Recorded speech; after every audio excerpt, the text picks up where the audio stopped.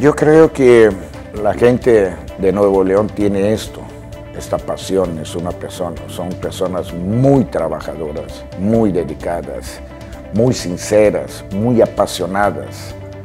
Lo que te tienen que decir te lo dicen, son gente, la verdad, pero no son rencorosas, no, no quedan con nada.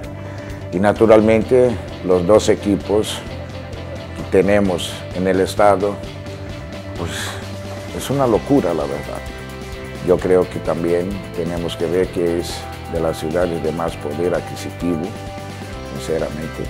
Entonces esto hace con que los estadios de nosotros siempre estén como están y naturalmente, así como apoyan, lo que buscamos es darles mucha alegría y que naturalmente no siempre se da y cuando se pierde también se ponen muy tristes y esto es una cosa que nosotros, nosotros siempre buscamos, no quedarse con nada para que ellos vean que nosotros en la cancha queremos agradarles. Yo creo que André eh, no le gusta todo de lo que se habla de él, pero naturalmente es un gran ser humano, la verdad, un poder de adaptación impresionante. O sea, desde que llegó los primeros días, nos ganó a todos, la verdad, con su forma de ser, con todo lo que él hace. Como futbolista, pues no necesita hablar mucho de él, pues es seleccionado francés, en nuestro equipo es titular, ¿entiende?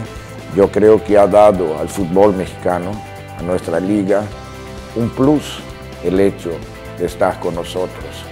Si antes se hablaba de nuestra liga, ahora se habla mucho más a través de André, Comentaba que muchas veces el futbolista mexicano solo pensaba ir a Europa a jugar. Y hoy hay muchos futbolistas europeos que quieren venir a jugar a México. Y el fenómeno es André. Él hizo capaz esta posibilidad. Ha mejorado mucho.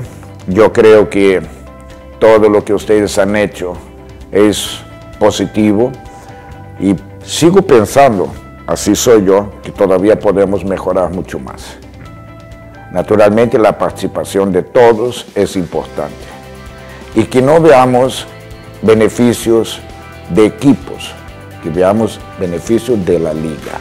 Hay ciertas cosas que todavía se tiene que mejorar, pero no puede ser que yo piense en Tigres, me tengo que quitar y pensar en la liga.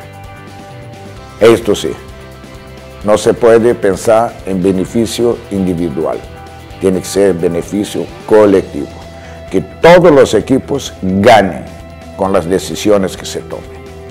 Yo creo que, como todo en la vida, hay pros y contras. Esto es indudable.